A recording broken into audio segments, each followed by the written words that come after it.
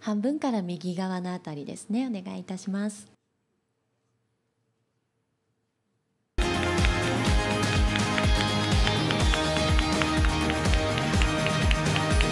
前回はあのメダルを取ったことがなくて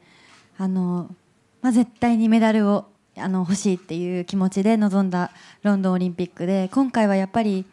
4年前よりももっといい色のメダルだったりぱり団体戦ではもっといい色のメダルが欲しいですしシングルスではまだ誰もメダルを取ったことがないのでやっぱりメダル金メダルを目指して頑張りたいと思ってます。今お見せいたしますけれどもぜひこの色をリオから持って帰っていただければということでゴールドブーケをお渡しいたします。ではお二人で少しお持ちいただいて記念撮影を撮らせていただけますか？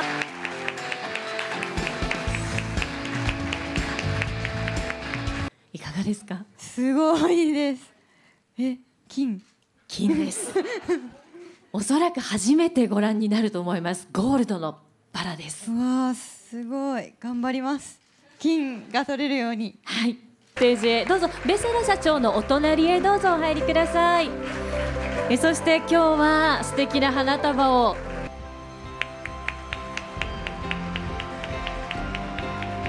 もう今石川選手がすごく嬉しそうな顔をしていらっしゃるんですけどやっぱお母様の支えが一番応援になるっていうのはありますよねはいありますし母がすごい緊張してるんで いつもと全然違うんでなんかちょっと楽しいです とお母様おっしゃっていますがそんな感じですか今心の中は。そうですねなんかいつも練習場とかは「えどうして？えそれもうちょっと違うんじゃない?」とかいつもなんかちょっと厳しい表情で見てるんですけど 今日はなんか緊張してなんか「あはは」って笑われてる感じがします。えー、リオオリンピックまであと1ヶ月になったんですけど、えー、今自分ができること後悔がないようにこれだけやったんだと思ってリオの舞台リオのコートに立てるようにあのしっかり練習を積んで自信をつけて本番に臨みたいと思っています、えー、また8月7日から